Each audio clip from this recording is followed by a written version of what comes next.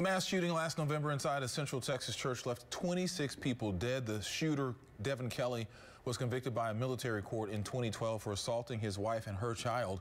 Now, seven months after the massacre, the Air Force has released Kelley's confession to that assault. It's a case that should have stopped him from purchasing a gun. Investigator Mario Diaz reveals what Kelley said and the actions taken to make sure military convictions are properly recorded.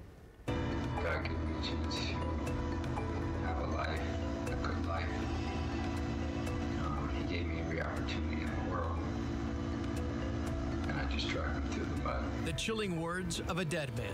A self-recorded confession by Devin Kelley from 2012. Five years later, he was the trigger man in the Sutherland Springs church massacre. The breaking news alert. Mass casualty shooting. A man walked into service opening fire. 20 people killed.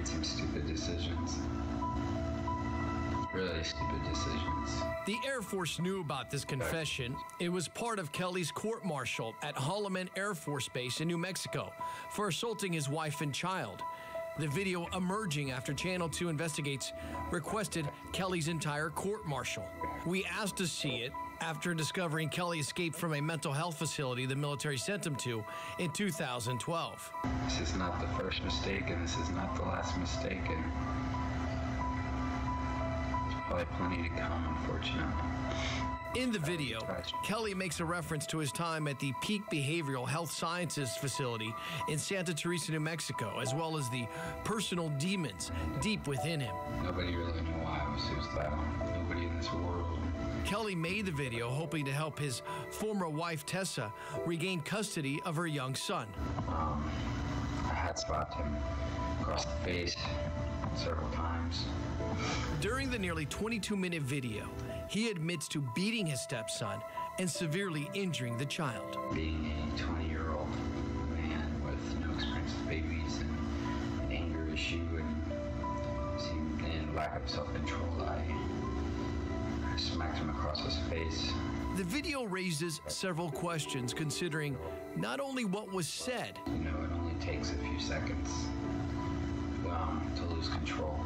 but also whether more could have been done after the video was presented to Air Force officials. I think it can be a learning tool. Rick Russo spent 25 years in the military as a judge advocate. He tells Channel 2 Investigates while there may be red flags now, he is not certain if he would have identified them. I'm not so sure that, uh, you know, if I would have been viewing it as at the time as part of a court martial for basically the striking of, of a stepchild, if I would have picked up on it in the bigger picture, Russo feels the legal fumble that allowed Kelley to purchase a weapon was not the fault of prosecutors, but by the military law enforcement responsible for reporting Kelley's conviction for domestic abuse to the National Instant Criminal Background Check System. This would have disqualified Kelley from buying a gun legally, but that information never made it to the federal database. A shooting at a church in Sutherland Springs near San Antonio left more than 20 people dead and at least 10 others hurt. It happened around 11:30 this morning. The gunman is among the dead.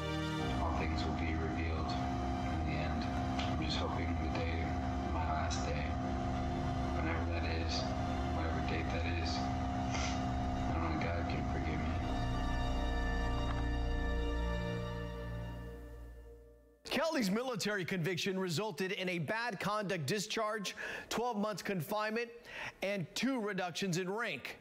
Kelley died of a self-inflicted gunshot in Sutherland Springs. Now, the days following the tragedy, the Air Force implemented corrective measures to improve reporting requirements to law enforcement. Mario Diaz, KPRC, Channel 2 News.